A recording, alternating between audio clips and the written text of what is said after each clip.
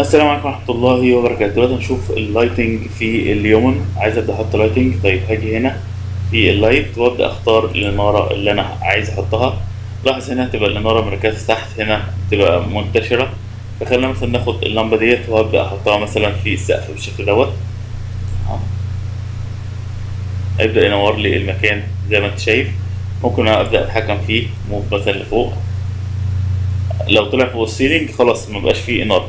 أقدر أتحكم في ال- السطوع بتاع ال lighting. أقدر أتحكم في اللون اللي أنا عايزه.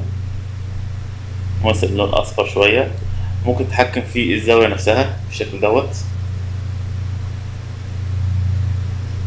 زي ما أنت حابب. ممكن تعمل ال light source تبقى شايفاه ولا لأ.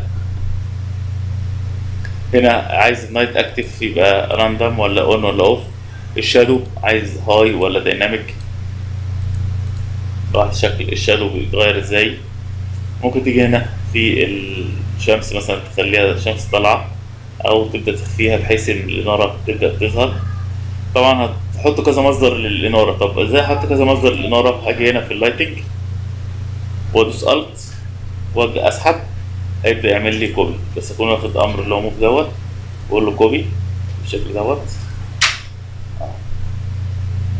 أجي هنا. وأبدأ أحرك.